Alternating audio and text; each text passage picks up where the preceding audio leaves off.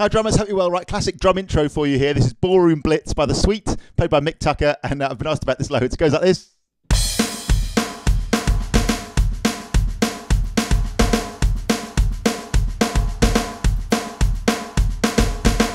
It's based on what we'd call a train beat, right? So a train beat is a single stroke roll. If you're right-handed, play those right, left, right, left, right, left, right, left. One and two and three and four and one and two and three and four and and what you do is you accent with your right stick if you're right-handed the two and the four, right? The back beat. One, two and three and four and one and two, three and four and one and two and three and four and in the sort of basic version you'd hit a kick on the one and the three. And you got yourself a, a basic uh, train beat, kind of like you hear in country music or like um, bluegrass or something of that nature, uh, or maybe folk music, all, all, over the place really. But I guess a country music thing, it puts me in mind of country music the most uh, when you first hear that version. Uh, maybe skiffle as well, maybe a skiffle kind of vibe. This one is uh, a little bit more to it than that, so it just builds on that a little bit. The bass drum part is a two bar long phrase that goes one, two, three, four, one, two, and three, and four. One, two, three, four, one, two, and three, and four, which just gives it a little more, more movement, man, a little bit more of a grooviness to it, in my opinion. And in the second bar, you add an accent just before the last beat four. So the accent pattern goes one, two, three, four, one, two, three, and four. One, two, three, four, one, two, three, and four. It also has a, a, slight swinginess to it, like a slight shuffle to it, like the the main roll one and two and three and four and one and two. That kind of glam rock ish kind of in the gap sort of swing to it. What's funny is, to my ears, the unaccented notes sound more swung than the accented notes, which makes it quite difficult to truly nail it. The feel, I would say.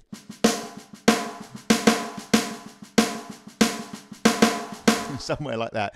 Um, I wouldn't worry about that too much first. Now, the thing is, obviously, like with all of these grooves, you might well see that and hear that and go, "Yeah, cool, no big deal, that's fine." It all depends where you're at with your drumming, doesn't it? If you're building it, if you if it if it isn't like instinctively easy, that's totally fine. I would say build it up uh, one step at a time. Uh, one great way to do this is just to build up uh, build up the level. So the bass drum part, one, two, three, four, one, two, and three, and four. One, two, three, four, one, two, and three, and four. I'm actually playing the hi hat there on the uh, on the two and the four as well as you can hear.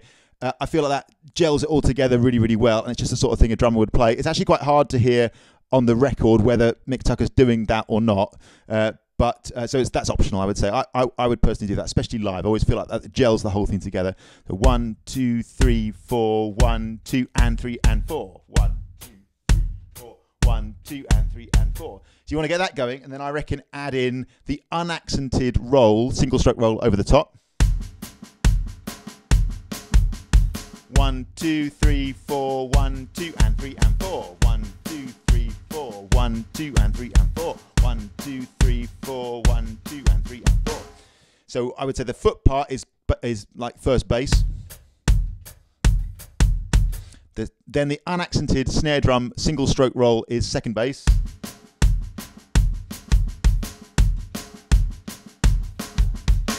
Then maybe just the train beat, like backbeat accent, so hitting the two and the four stronger, which remember is all with your right stick if you're right handed.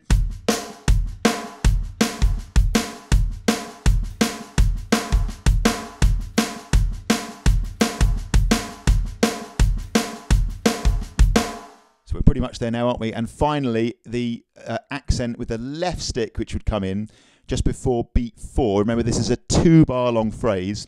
It would the left stick would accent just before the beat four in the second bar. One, two, three, four, one, two,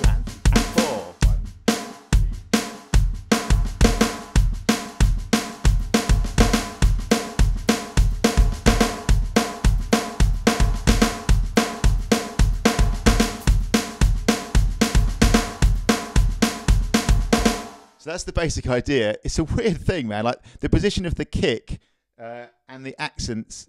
I can see why lots of people have said like it, like even you know like drummers who've been playing for a while that I, know and work with have said oh they've the bass drum part is really throwing them off here and I actually get that. Uh, I personally find it uh, harder to play a bit more slowly. This one, as you pick up some speed, the musical flow kind of takes over. So this one, you know, like like I've said a lot before, like on this on this channel, actually on these videos, for me, the two ways of learning a coordinated groove are number one, option one, to go real slow and to pick it through. So you play the full part, all the all the limbs and all the things that you're doing, and you go one note at a time, really really slow, and show your hands and your feet and your brain the combinations, and that's a great way to do it uh, if if you have to, it's not very musical. I found learning this groove that way, actually, in this case, way more tricky. The the other option, option two, is to play kind of not necessarily full speed, but at a musical tempo, and play something that you can play. In this case, the foot part. And then build stuff on top of that, like add in one thing at a time, one layer of complexity at a time until you work up to the foot. I found this much easier to play like that. So let's recap, man. Foot part.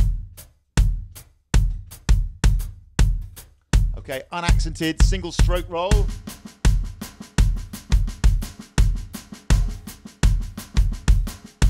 And now train beat two and four. One, two, three, four. One, two, three, four. One, two, three, four. And last accent just before the last four.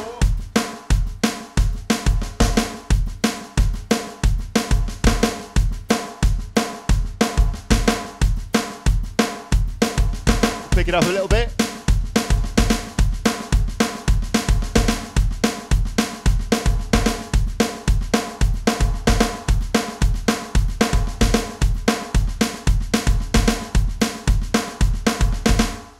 Hope that makes a bit of sense. Yeah, it's trickier than it first sounds, I would say, generally speaking, this one.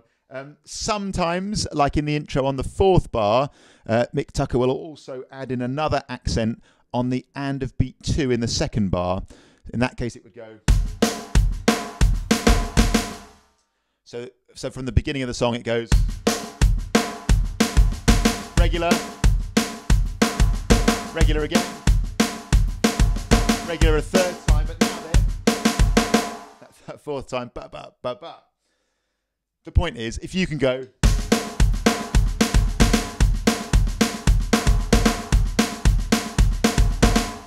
You're up and running. To, to, some extent, he was probably sort of freestyling it as he went along. If you can cap, as with as with all of these sort of tunes, if you can capture the vibe, then you're in business, and that's probably, in all honesty, more important than going note for note on this one. Having said that, what I will do quite soon is I'll record a full um, version of this one. It's a really good song to play. Hopefully, that'll get you going with it. If you if you find yourself saying the phrase "I'm struggling with this," yeah, I would personally on this one recommend going foot part. I've added in the hi hat on the two and four. You don't have to. Then the unaccented snare drum then the backbeat like accent on the snare drum, as in your right stick, if you're right-handed, plays stronger on two and four in both the bars, and then finally that extra accent on just before the on the and of beat three in the second bar. Uh, then you're in business. All right, thanks for watching. As always, really appreciate it. Thanks to all the people who suggested that. A load of people asked about that groove. It's really interesting, and actually, I get why uh, the guys and girls who've tried it said, "Oh, actually, that, bass drum's thrown me off." It's a little bit of a tricky one. The way the, way the, the foot part works against the accent with your hands a little bit, but um, yeah, build it up in that way. I reckon you'll get it in no time. People always ask me what grade level these are at. I would say this one. Uh, I don't know, like a three or a four, I guess, something like that. Anyway, uh, thanks for watching as always. Really appreciate it. See you soon.